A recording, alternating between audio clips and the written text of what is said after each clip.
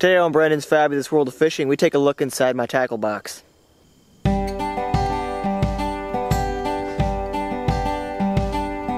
Hello folks, welcome back to vlog number two, and today we are going to take a look inside my tackle box. I've had a lot of people requesting this video, and I didn't do it for a while because my tackle box uh, was not that organized.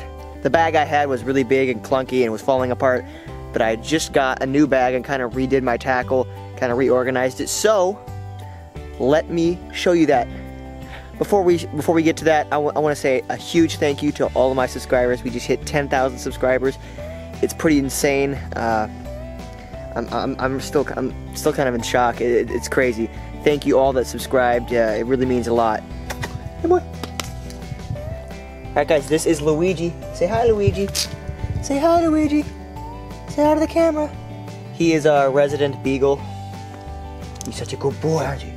Alright guys, this is the tackle box that I currently own. It is an Okeechobee Fats tackle box. Uh, it's a relatively cheap one. I got it for like 10 bucks at Walmart. So, let's take a look inside here. Just flip the lid. Alright, there's all my boxes, my basic layout right there. So, let's start off with lures and let's start off with crankbaits. So, let's take a look at the crankbaits here. Pop this open. Crankbaits. Mm, Whoop. Okay. Okay. Okay. There we go. Having camera stress back here. Okay. So crankbaits. What do I got? Well, number one, I got in the deep diving section. I have some deep diving crankbaits right here. This is a bomber fat-free fingerling right here. It's pretty old. It's got like I don't know. It's got like junk on it, but I've had this one a long time and it does really good. Dives really deep. Caught some fish on it. Like that one. Got a, a Rapala eh, Flat Rap right here. This is an old bait that we got somewhere. I'm not sure where. But yeah, that one works pretty good too. Got a cotton cordell right here. This is a pretty um, cheap bait. You can get it for like a dollar at Walmart, but I have one in here just because I've had that bait forever. We bought a bunch of them a couple years ago. I think I bought this bait in like 2012. Yeah. Anyway, I got a Rapala um, DT dives too. This dives to about six foot. Uh, pretty nice bait right there. So those are all for the deep diving lures. Um, Swim baits, I have a Cabela's HDS Real Image Bait Fish in perch color, I think. So there's that. I actually did a review of this bait. If you want to check out that review, I'll link it up in the cards for you. All right. So we got jerk baits. I don't have a whole lot of jerk baits. I have a um, Rapala X-Rap right here. A pretty nice crankbait. It's got a nice tight action, and it dives really deep. Got that one. I've also got. A Rebel right here. Just uh, think it's called a swimming minnow, and just like a, a silver. This is actually a really decent little um, little jerk bait. It's actually really inexpensive. It costs like a couple bucks, not even like it's like a dollar or something at Walmart. So it's actually really decent. Swims pretty good. Uh, then I have this bait, which is kind of an interesting bait I found. I found this at a lake actually. It was sitting in the water. It was snagged, and I got it. It's got a lot of character. It's kind of worn down. It's kind of beat up, but this thing's ca- this thing catches fish. It's a it's a really cool bait. It's a jointed minnow design. I'm not sure what company exactly made it. I can't really tell. But really awesome, and I love that thing. So those are all my... Oh, wait, I got another one. Hold it. I got something else. Here we go. Well, let me get it. Let me get it. Okay. I also have another one of these Rebel uh, minnows right here. This isn't like a gold perch. So those are all for that. Now on to lipless crankbaits. I have a... Let me get this out of here if I can get it out. Here we go. I've got a Rapala Clackin' Rap right here. This is in Gold Shiner. I've had this bait a long time. I actually did a review of this bait too, or a video about this bait. I'll link it in the corner again. Um, this thing's really awesome. I really love it. I just put new hooks on it, so I'm excited to take it out this year. This is kind of a weird bait that I found in an old tackle box. I usually buy, I have a weakness for, I'll buy these old tackle boxes with all these old lures, unique lures, and uh, so yeah, this is like a lipless crankbait design. I haven't really actually fished with this yet, but uh, looks pretty cool. And I have a Rebel, uh, not a Rebel, sorry, a sonar right here. These are really, really great for cold water, deep water fishing. They catch pretty much any species. I've had catfish hit these things, so these are really great, and they're a must-have to have in your tackle box. So that's pretty much all my lipless crankbaits right now. I need to upgrade some. I need to get some more because fall's coming, and I want to get some more of them, I guess. All right, Uh, square bills. Let's take a look at what we got as far as square bills. If I can get this stupid hook undone here, because it's... Okay, there we go. I'm getting stuck. Here we go. This is a bomber. Oh wait, hold up. Here, I can see the. I can read the name here. Okay, Cotton Cordell. This is a big G, I think, or a big D. Either D or G. Uh, it's in a chartreuse color. So I got that. I also have a ancient. Well, no. I also have a really beat up KVD 1.5. We found this down at the lake. Uh, they drain the water every year at the lake we used to live at. So we go down and hunt for lures. We actually found this one. This one actually has like teeth marks on it. So it looks like it might have been hit by like, you know, like a pike or something. So it's actually pretty cool. I just put new hooks on it. I'm going to clean up a little bit and actually take it fishing this fall. So really, really cool bait right there. I also have another square bill. If I can get it out of here which I can't, but I'm just going to kind of go through it. This other square bill, this is a Rebel square bill right here, uh, just in like a bluegill color. These actually work pretty good if you buy them. They're actually relatively cheap. Sometimes they don't run exactly straight out of the package, but if you tune them, they're actually pretty good baits. My brother's caught some nice fish with that. I also have a Rebel bluegill right here. This is actually a really great bait. I've talked about it in some other videos. Really awesome. So that is pretty much all the crankbaits right there. Okay, what's next? What is next in this box? Let's go top waters. All right, here we go. Top waters. What do we got as far as top waters? Here's the top waters. I don't have a whole lot, but let's get started. I've got this Booyah Pad Crusher frog. Um, this thing has served me so well this summer. I've caught so many fish with it. It is so beat up and torn up, shredded.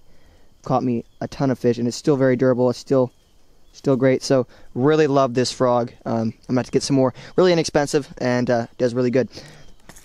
I have the, this is a Rebel Frog R. It's actually a really great little bait. It's got a really cool walking action. I love the paint job and the design of it. It's really realistic. My siblings are making noise. Excuse that.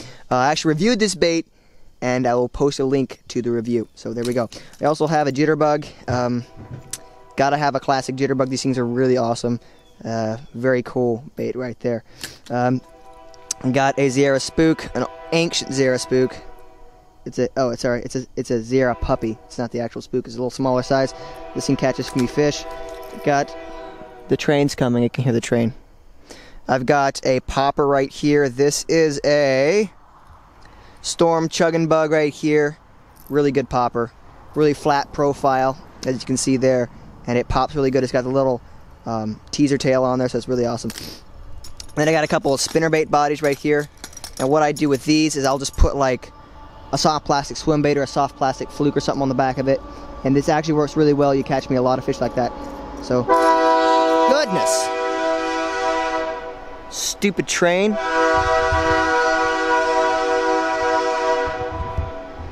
Interrupt my video. So rude.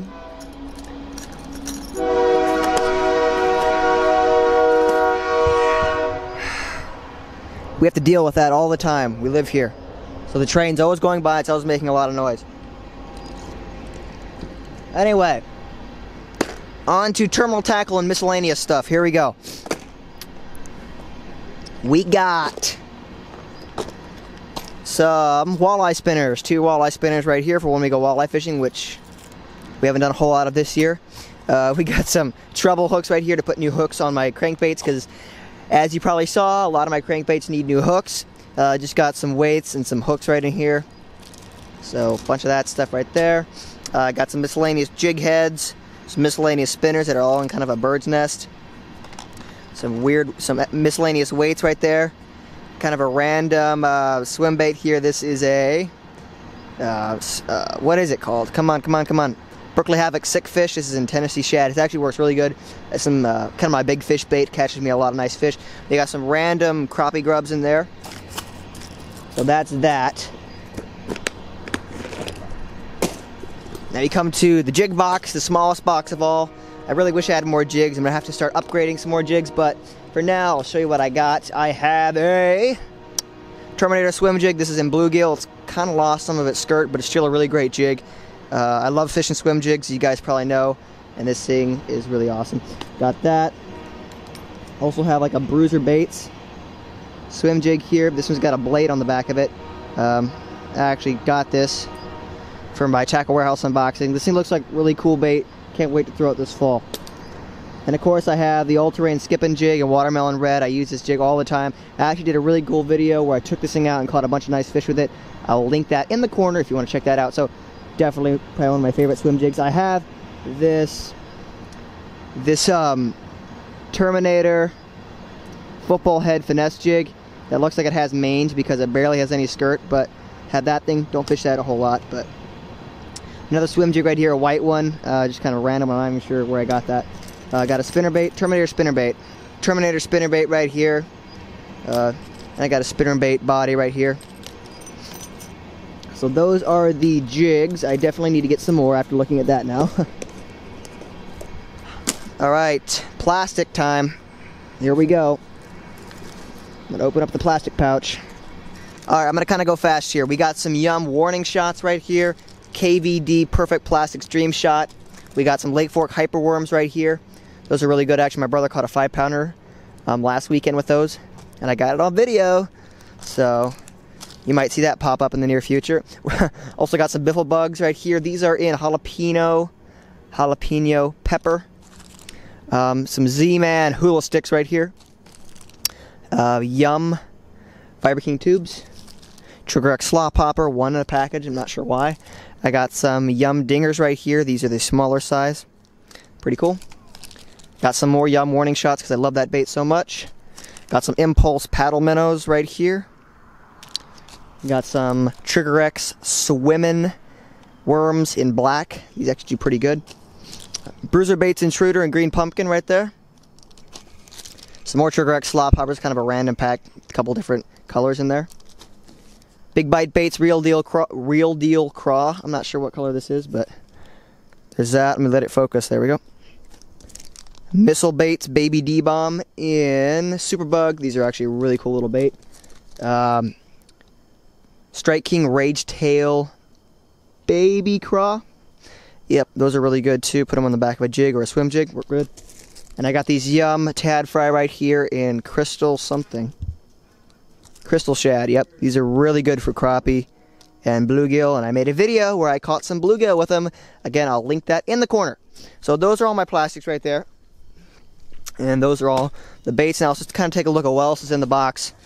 We got stringer because I'm a multi-species angler and sometimes we're catching fish that we want to keep and eat. So I got that there. I've got kind of a random pocket on the side here with some random stuff. Got a random buzz bait. I'm not sure why that's in there, but it's in there. I got this massive spoon.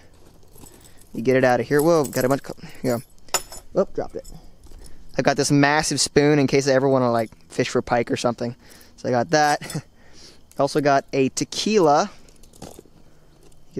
Uh, River to Sea Tequila Buzz right here. This is a pretty big bait and it wouldn't fit in my top water box. I just put it in the side there. So, and we got some black tape. I always keep black tape in my tackle box because you never know when something's going to break, something's going to happen. This stuff's always good to have on hand. That and super glue. Uh, that's it. I think I got like a random, couple random hooks in there, which is not that exciting. So I should probably go in the hook box, but anyway. And this other side I got a pliers because every good fisherman needs a pliers. So that is pretty much everything that's in my tackle box. So there you go guys, that is what is in my tackle box. Again, like I said, I don't have a whole lot of stuff. I'm currently kind of in a slump where I don't have a whole lot of stuff, but I'm going to try and expand in the near future. So, thanks for watching this video. Um, what else was I going to say? As always, this is Brendan Miller, signing out.